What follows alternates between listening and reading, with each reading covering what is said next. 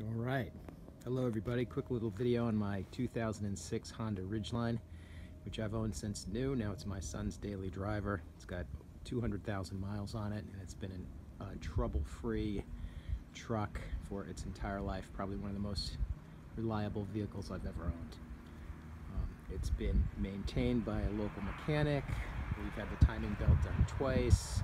Many sets of wear items like brakes, the suspension's been redone. Again, very, very reliable vehicle.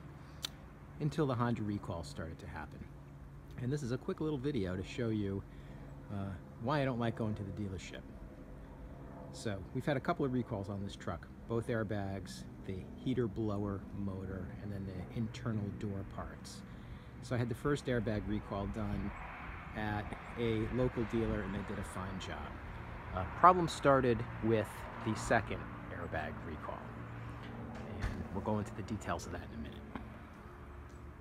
Okay, inside the truck and here's where it gets annoying. First airbag recall, no problems. Second air, airbag recall, passenger one over here. After we had it done, we had this terrible rattle from inside the dashboard. And my son drives a truck every day and he listens to the music loud. Didn't really notice it until one day I was in here.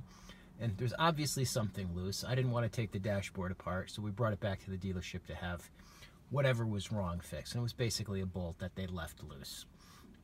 While I was there, we had the heater blower motor recall done.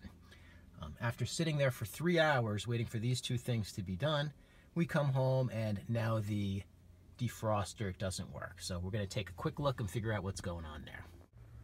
So here we are inside the glove box, right? So hopefully everybody knows how to remove the glove box, pretty straightforward.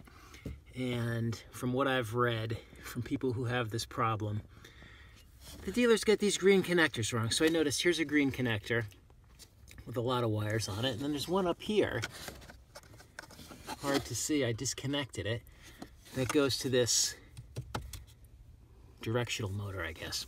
And this is was ridiculously tight, barely plugged in. In fact, you can see the harness connectors here just floating in the air.